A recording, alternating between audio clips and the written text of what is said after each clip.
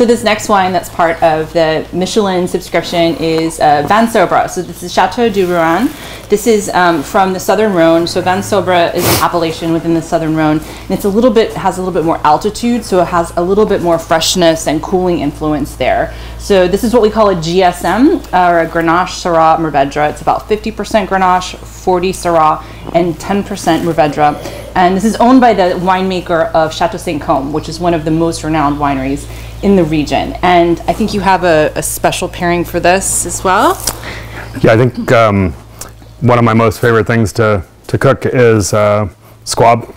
And um, I thought that uh, um, either grilling the grilling the squab or spit roasting it with some either like sarawak kind of pepper and, and just keeping it pretty simple and then um, you know having the skin render nicely the Mm. fat just very uh, grilling on the bone.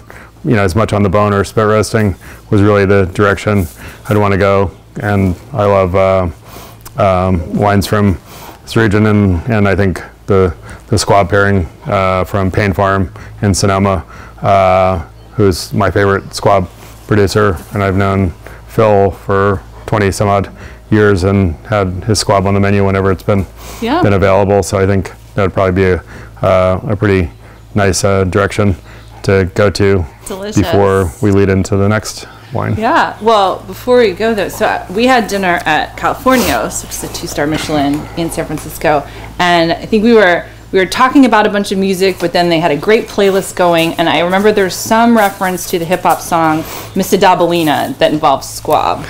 If we changed it to Mr. Squabalina. so, but we're definitely not going to put this on the final cut. Or will we? Cheers. Yeah.